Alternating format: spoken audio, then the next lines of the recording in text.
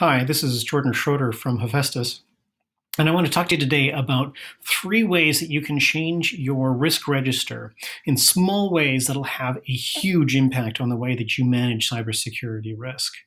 And so the three things I want to talk about today are um, your target audience for the risk register, your heat maps in the risk register, and uh, adding target risk. Now, we can talk about completely overhauling the risk register process, and the the fundamental principles but i just want to talk about three small tactical things that you can implement today without it being a, a big project. So i promise these are simple easy things to to implement today. The first thing I want to talk about is the audience for the risk register. Most organizations create a risk register because the auditors told them to they create the risk register, they assess the things, they uh, year, yearly review it, um, minute the fact that they reviewed it, and hand it off to the auditors, and the auditors are happy. But the risk register is not for the auditors. The risk register is for you, it's for the business, for anyone who needs to make a decision about those risks or in that risk context to know what are the thoughts around that? What are the intents? What are the priorities? How does the organization think about these things?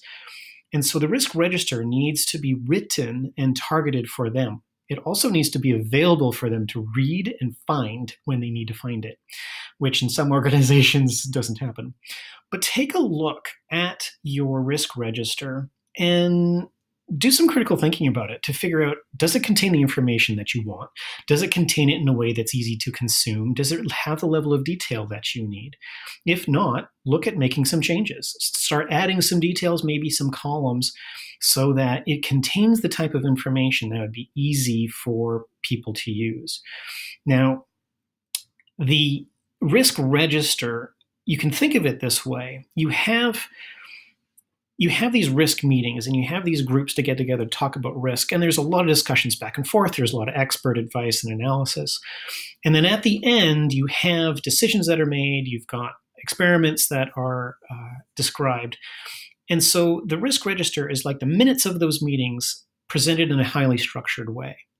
And so if you think of it like that you might be able to find some ways where it can be better used and better structured and more information is provided. So it becomes the de- decision support tool that it is meant to be. The next thing I want to talk about uh, to make a small change that has a big impact in your risk register is heat maps, or as I like to call them, hate maps. I really hate these things. There was an original intent and original purpose for the heat maps in terms of visualizing some of the information from the risk management process. Heat maps now become this required thing that everyone jams in and everyone uses, but they have forgotten what the original purpose was and they've forgotten how to use it. And so it's now used in what I think is highly inappropriate ways, in ways that actually create some danger for the organization and for the people using that information to make decisions. Now, I'm going to show you a heat map here, and this is going to be pretty typical for what I'm assuming you are pretty used to. So here you have a 5 by 5 grid, and it goes from green to red with a yellow and amber in the middle. But in a 5 by 5 grid, you can't cleanly distribute the uh, colors within the cells. So you end up in a situation like this. Now I grab this image straight off the internet you've got this situation where you've got more green than you have red. And the question becomes is that an accurate description of what the organization thinks of the risks in those areas? You're skewed or your, your bias in using the colors in this way is to the red you know and that can provide a misrepresentation of the information now if you want to use a heat map in terms of visualizing some of this information, I would highly recommend that you would switch to a gradiated uh, version. Now, this is a little harder to do because you can't uh, color the individual cells as you, in, in Excel. This requires a, a, a only a slightly more complicated way of, of adding the color to an Excel spreadsheet. But it means that you have an even distribution of the colors and you're not misrepresenting the data. Another small note here is that this grid is a 3 by 3 Now, I could do an entire uh, separate video on why I think a 3 by 3 grid is more appropriate than a 5 by 5 grid. Uh, but as a bonus point, make sure your, your matrices aren't greater than 5. I've seen 9 and higher, and that's ridiculous. 5 at the maximum, 3 by 3 is actually better. But that's a sub point, and that's another video.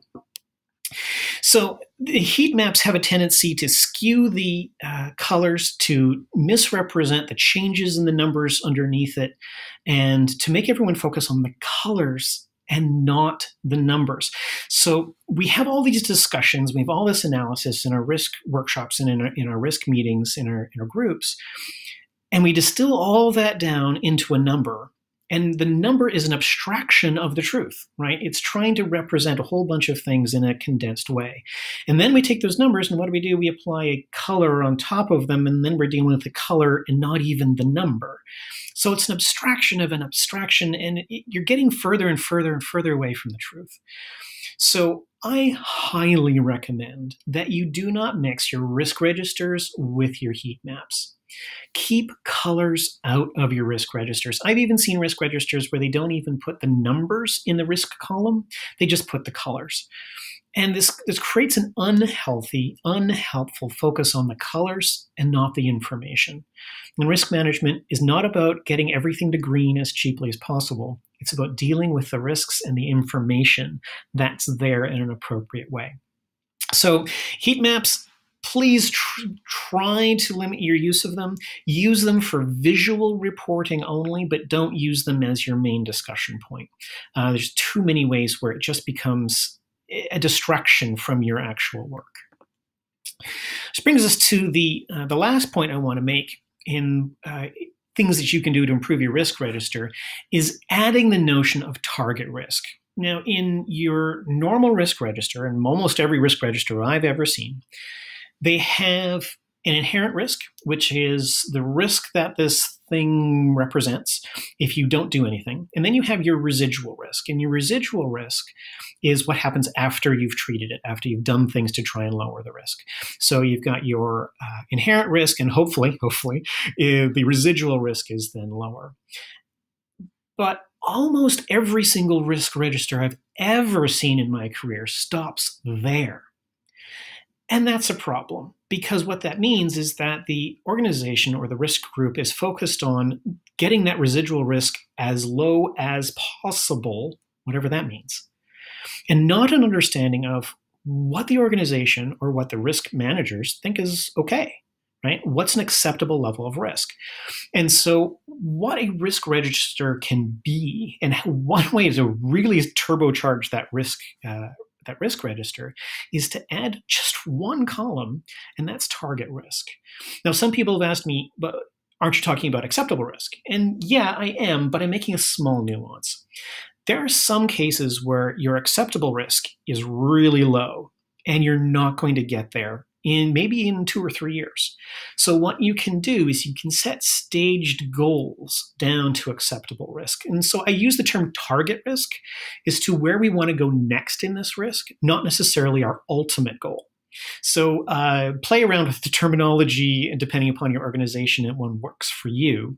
But that's the general idea. You want to hit your inherent risk, you want to assess that, your residual risk after you've treated it, and then set that target risk. Now, here's what you can do with that information.